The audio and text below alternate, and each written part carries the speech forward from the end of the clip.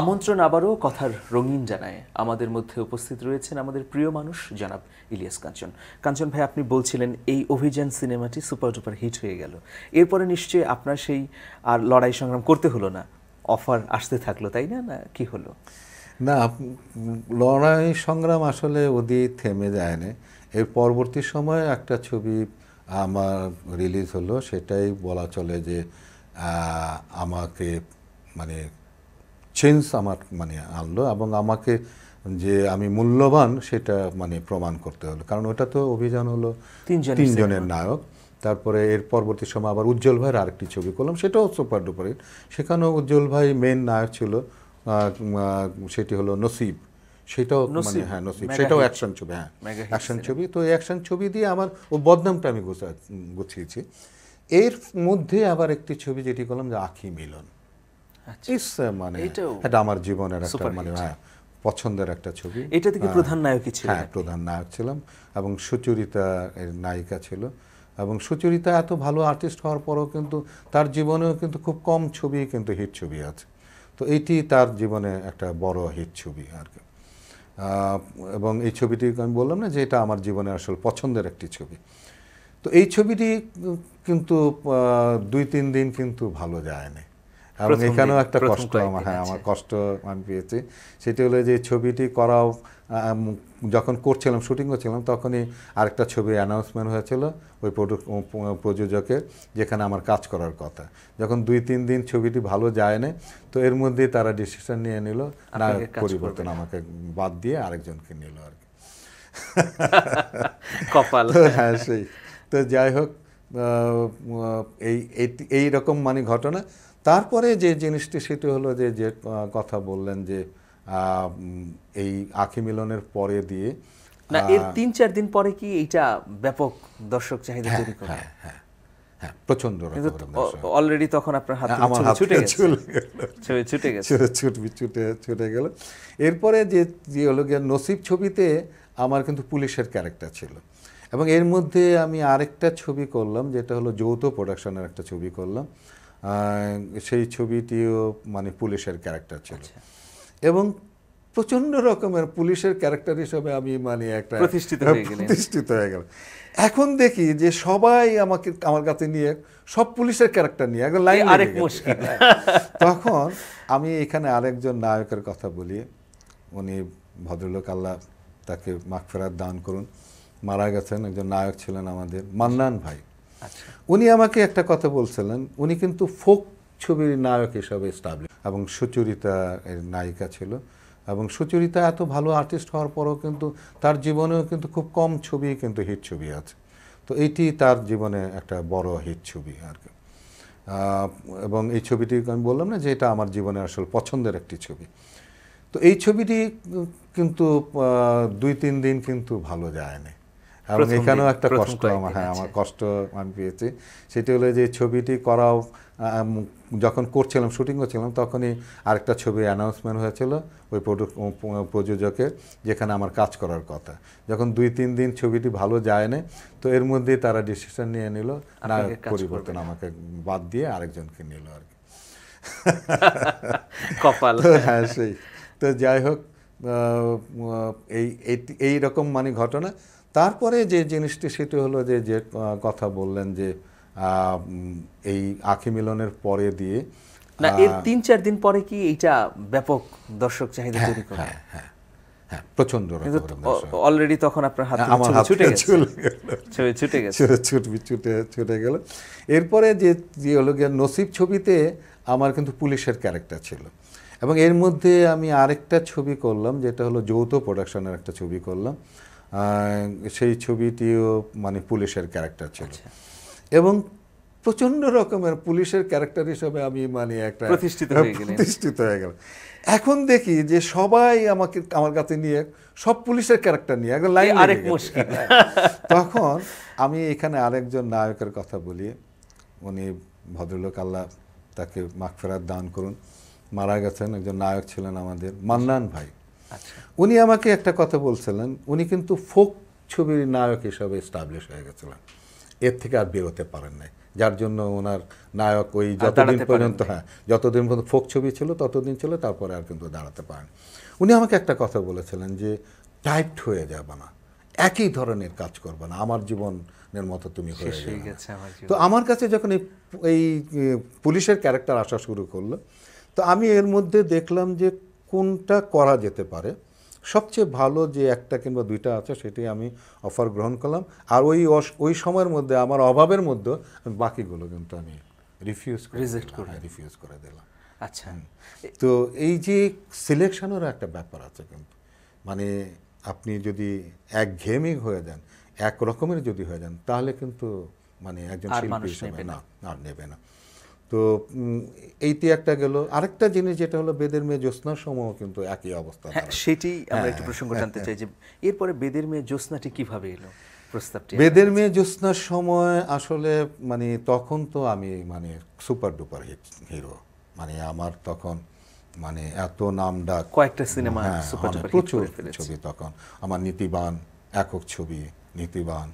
তারপরে সহযাত্রী ভেজা চোখ এই সমস্ত ছবিগুলো সব আমার রিলিজ হয়ে ভেজা চোখ হিট হ্যাঁ রাইট রিলিজ হয়ে গেছে। তখন মানে আমার শিডিউল পাওয়াটাই হলো গা ওই দুই বছর তিন বছরের শিডিউল অলরেডি আমার সেল হ্যাঁ বুকড সেল হয়ে গেছে তো সেই সময় তারা সাহসও পাচ্ছিল না যে বেদের মেয়ে জ্যোৎস্নার নায়ক হিসাবে আমাকে নেবে কারণ তারা জানে যে দুই তিন বছরের শিডিউল এবং তখন আমি প্রযোজক আমি ওই প্রযোজনা শুরু হ্যাঁ, করেছেন। প্রযোজনাও শুরু করে দিয়েছি। তো সেই জায়গায় মানে যখন তোজাম্মেল হক বকুলের জন্যই আমাকে এটাকে কাজ করতে হয়েছে আর কি। প্রডিউসাররা কিন্তু তার ওই আমাদের যে সাত্তার হিরো তাকে কিন্তু অলরেডি টাকা পয়সা দিয়ে সাইন করেছে তাকে। কিন্তু তোজাম্মেল হক বকুলের গো ধরেছে আমাকে ছাড়া হলে করবে না। করবে না সে ছবি। আপনি নায়ক নিয়েছেন ঠিক আছে আপনারা নায়ক নিয়ে আমার গল্প আছে আপনারা গল্প নিয়ে আপনারা বানান কিন্তু আমি বানাবো না। আমার যদি বানাইতে ইলিয়াস কাঞ্চন হতে হবে আমার নায়ক নাহলে আমি পারব না। তখন দারা ভাই মানে দারা ভাইয়ের অ্যাসিস্ট্যান্ট ছিল তোজামেল হক বকুল। দ্বারা শিখো হ্যাঁ, দারা শেখো এবং মতিউর রহমান পানু উনি আমার পরিচালকও ছিলেন ওই বেদেমে জোসনার একজন প্রযোজকও কিন্তু। তো ওই তোজামাল বকুল আবার পানু ভাইয়েরও আবার অ্যাসিস্ট্যান্ট ছিল চিফ অ্যাসিস্ট্যান্ট ছিল। তো তারা আইসা এখন দারাভাই মেনলি আমাকে বলল যে হিরো একটা ছেলে আমাদের ছেলে আপনাকে এত ভালোবাসে আপনি ছবি না করলে সে ছবি ছেড়ে দিচ্ছে তো তার জন্য আপনি করবেন না কিছু। তো আমি বললাম যে দারাভাই আমি কী করে করব। তখন ওই যে আমি প্রযোজক ছিলাম বললাম না যে আমি দারাভাইয়ের সঙ্গে একটা ছবি করছিলাম বনের মতো বোন ছবিটি আমি প্রযোজনা করছিলাম। আমাদের একটা টানা শিডিউল ছিল সাত দিনের একটা টানা শিডিউল ছিল। বলল যে এই সাতটা দিন আপনি দিয়ে দেন। আমি কি বলেন কি আমার নিজের ছবির শিডিউল দিয়ে দেবো। কয় হিরো দেন ছেলেটাকে দেন। আর আপনার মানে শিডিউলে যে অনেক সময় আপনি জানেন তো আমি আমি কি ধরনের ডাইরেক্টর কেউ যদি প্যাক আপ করে আপনি যদি আমাকে ওই কয়েক ঘণ্টা আগেও বলেন যে উনুকে উমুকে প্যাক আপ করছে আমি আপনার শিডিউল কিন্তু কাজে লাগাতে পারব। আচ্ছা এবং ওনার এই গুণটা আছে। আমি তখন বললাম যে আচ্ছা ঠিক আছে দেন। এই সাতটা দিন দিয়ে এই ছবিটা আমি শুরু করলাম। সাত দিন দিয়ে শুরু করলাম। তারপরে দেওয়া চেষ্টা করলাম ম্যানেজ করে কীভাবে করে। কিন্তু আপনি যখন স্টোরি শুনলেন তখন কি মনে হয়েছিল যে এটা এইরকম হিট হবে? এইরকম হিট হবে আমার এটা মনে হয় না। এবং মানে প্রথমত আমি ওই যে ওই ছেলের প্রতি ভালোবাসাটাই বেশি কাজ করেছে। কারণ তার যে এত ভালোবাসা এবং আমাদের সঙ্গে অনেকগুলো ছবিতে চিফ অ্যাসিস্ট্যান্ট হিসেবে কাজ করছে এটাই বেশি কাজ করেছে তার ছবিটা করে দেওয়ার জন্য। পরবর্তী সময় যখন প্রথম শুটিং যখন শুরু করল ওই রাজ দরবারের শুটিংটা সে শুরু করে আর কি।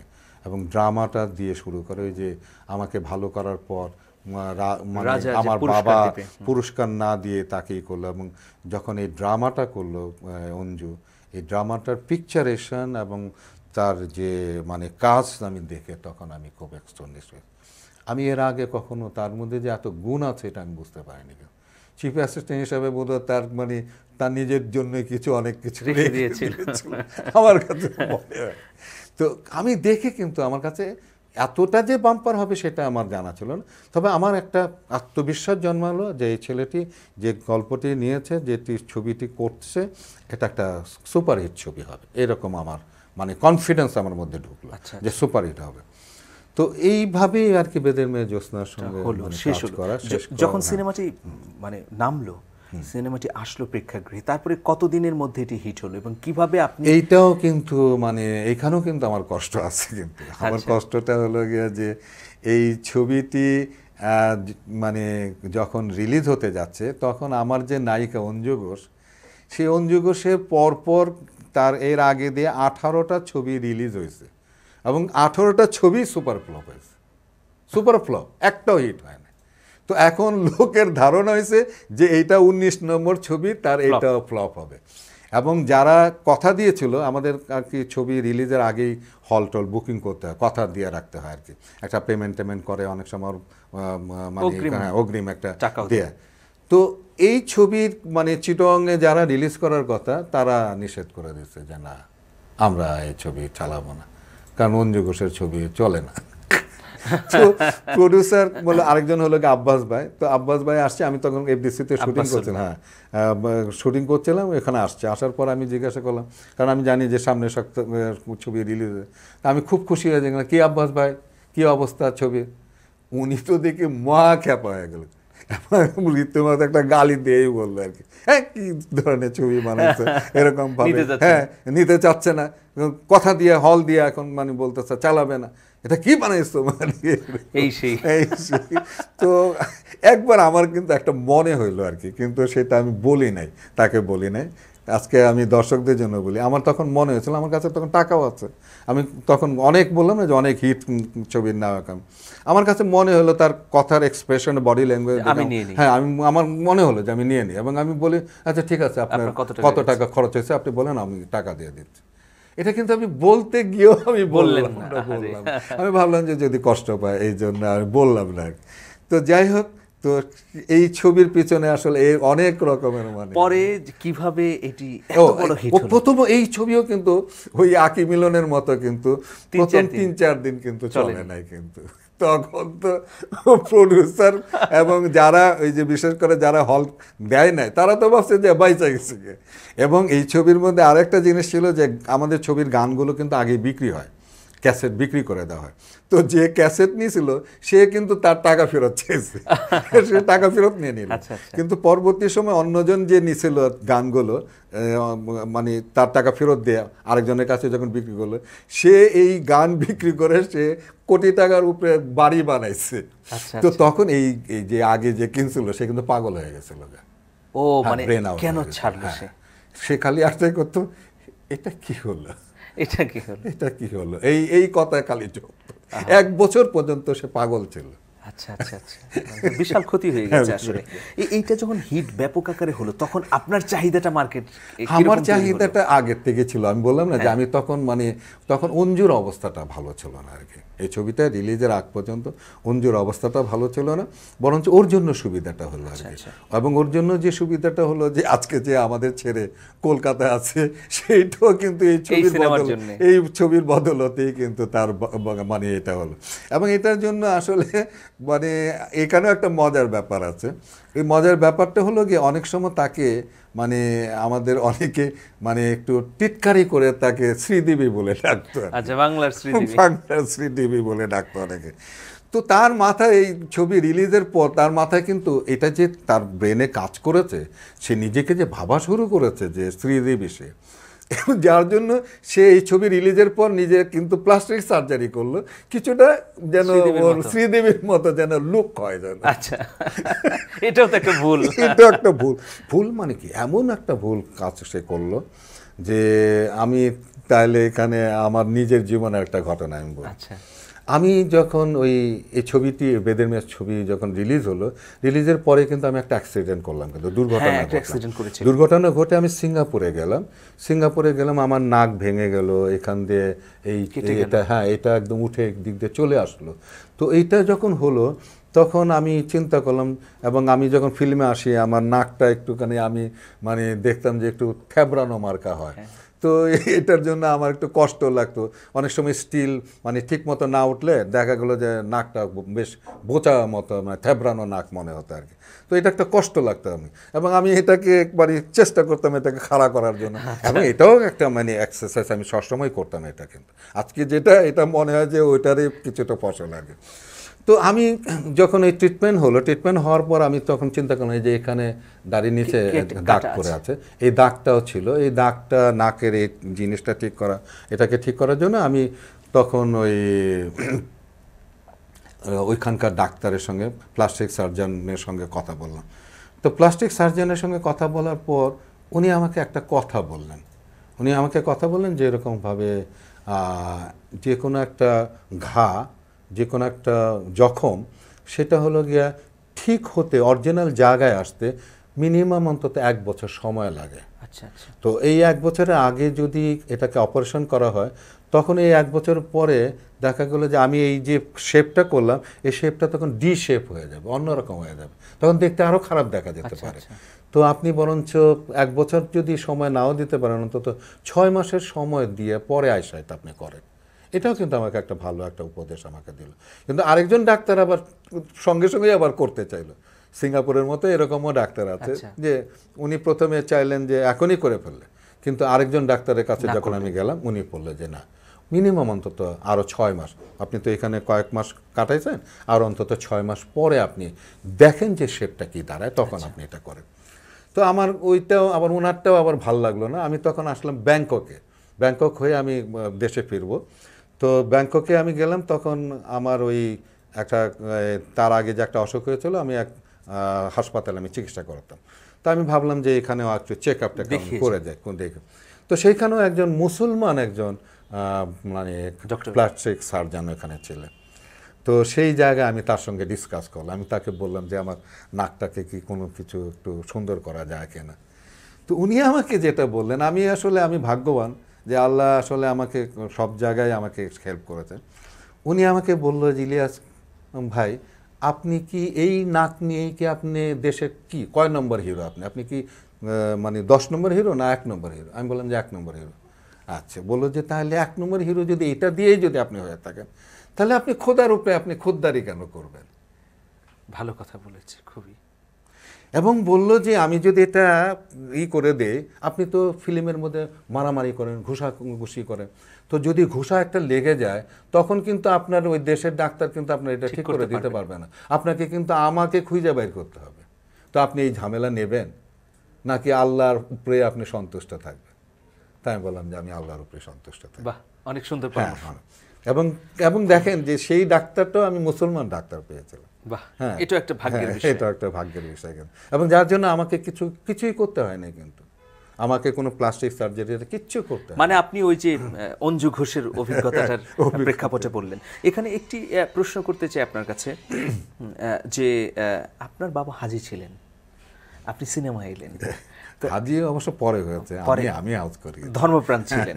নিশ্চয়ই ধর্মপ্রাণ ছিলেন বা আপনি ইউনিভার্সিটি পড়াকালীন সময়ে এই যে সিনেমাগুলো করলেন তখন আপনি স্বাবলম্বী হয়ে গেলেন। তো এর মধ্যে এই স্বাবলম্বী হতে তো সময় লেগেছে। অনেক সময় আপনার কি কখনো অর্থাভাবে ভুগেছেন? ওরে সেটাই তো বললাম প্রচণ্ড রকমের। কি যে কষ্ট করেছে আমি এটা বোঝাতে পারব মানে না। আপনি কোথায় থাকতেন তখন? আমি থাকতাম আমার চাচার বাড়িতে আসলে থাকতাম। কিন্তু আমার আসলে আমার জীবনের যে টার্গেট আমি কিন্তু খুব বড় লোকের ফ্যামিলি থেকে আমি আসিনি। আমার বাবা একজন মানে খুব মানে জমিদারি মানে সম্পত্তির মালিকের ছেলে আমি নই কিন্তু মোটামুটি আমাদের মানে আচ্ছা। মানে খা- মানে কষ্ট করে খেয়ে পরে চলার মতো আমাদের অবস্থা ছিল সেই জায়গা থেকে আমি মানে আজকের এই জায়গার মধ্যে আসছি যার জন্য আমি ছোটবেলা থেকে একটা জিনিস আমি ভাবতাম সেটি হলো যে আমাকে আমার ফ্যামিলির ইঞ্জিন হতে হবে চালাতে কারণ আমি যেহেতু। বড় ছেলে আমার ফ্যামিলি আমার বড় ছেলে আমাকে ইঞ্জিন হতে হবে। আমার অন্যান্য ভাইগুলোকে অন্তত যেন আমি টেনে নিয়ে যেতে পারি সেটা আমাকে হতে হবে।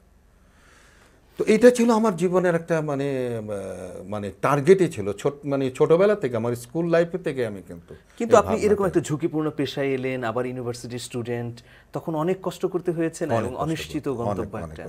এরকমও কি হয়েছে যে আপনি হ্যাঁ। থাকা খাওয়া কষ্ট হচ্ছে? না থাকা খাওয়ার কষ্ট হয় না। আচ্ছা। ওই ওরকম কষ্ট হয় না।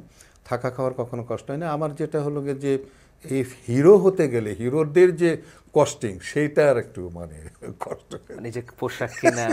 পোশাক কেনা শুধু শুধু পোশাক সত্যি কথা বলতে গেলে যে আমি তো দীর্ঘ সময় ধরে সিগারেট ছেড়ে দিয়েছি কিন্তু একটা সময় তো মানে বাংলাদেশের মানুষ প্রচুর সিগারেট খেত।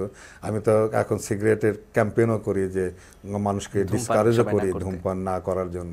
আন্দোলনের সঙ্গেও আমি যুক্ত আছি এবং দীর্ঘ সময় ধরে যুক্ত আছি। তো সেই সময় কিন্তু মানুষকে সিগারেট অফার করাটা একটা কিন্তু মানে ভদ্রতার ব্যাপার ছিল কিন্তু আমি যে সময়ের কথা বলতে তো তো এক প্যাকেট সিগারেটের দাম তখনকার সময় একশো টাকা বেনসন সিগারেট হ্যাঁ? ডান ডানহিল সিগারেট এগুলো একশো টাকার নিচে হয় না। তো এখন এক কার একশো টাকা তো মানে আজ থেকে চল্লিশ বছর আগে একশো টাকা তো বিশাল টাকা কিন্তু। তো এইসব তারপরে কনভেন্স মানে এফডিসিতে যাওয়া আসা প্রতিদিন ইউনিভার্সিটিতে যাওয়া আসা এইগুলোর আজকে কষ্টটা হতো আর এবং অনেকে কথা দিত টাকা দেবে ছবিতে কাজ করে দিত না। এবং জোরও করতে পারতাম না যে ভাবতাম যদি পরে আবার বাদ দিয়ে আবার যদি ছবিতে না নিয়ে নেয়। তো এই জন্য অনেক কষ্ট করতে হয়েছে আমরা আরেকটা ছোট্ট বিরতিতে যাব। প্রিয় দর্শক থাকুন আমাদের সঙ্গে ফিরছি অল্প সময়ের মধ্যে।